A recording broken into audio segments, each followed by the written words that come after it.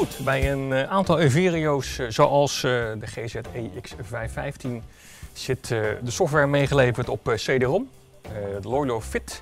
En die gaan we nu even installeren door het schijfje in de CD-ROM drive te plaatsen. De software is geschikt voor Windows, niet voor de Mac. Want op de Mac kun je prima monteren met iMovie. Computer hem herkent. Nou, run install, ja, dat willen we. En dan klik ik aan.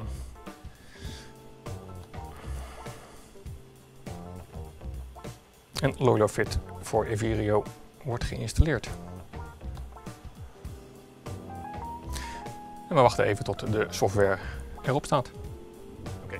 Goed, de LoloFit software is nu bijna geïnstalleerd. Het moet alleen even geactiveerd worden. Eh, nadat de installatie klaar is, krijg je dit schermpje in beeld.